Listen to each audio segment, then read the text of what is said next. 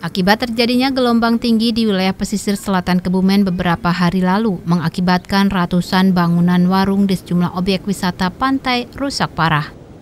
Beruntung tidak ada korban jiwa dalam peristiwa tersebut lantaran objek wisata sedang ditutup. Seperti di Pantai Suwo, Kecamatan Puring, warung-warung milik para pedagang rusak dan masih berserakan. Salah satu warga, Saiful Bahri, mengatakan saat ini gelombang di pantai selatan Kebumen sudah mulai menurun kalau yang rusak di sini adalah fasilitas-fasilitas pedagang. Ya yang jelas ya warungnya hancur lah. Ya, seperti inilah keadaannya yang kita lihat sekarang. Nah, kalau sama tahun yang dulu, waktu Juli tahun 2019 itu, itu kayak masih besar yang dulu. Para pedagang berencana memperbaiki kios mereka jika kondisi wisata sudah mulai dibuka. Mengingat saat ini tengah ada pandemi corona.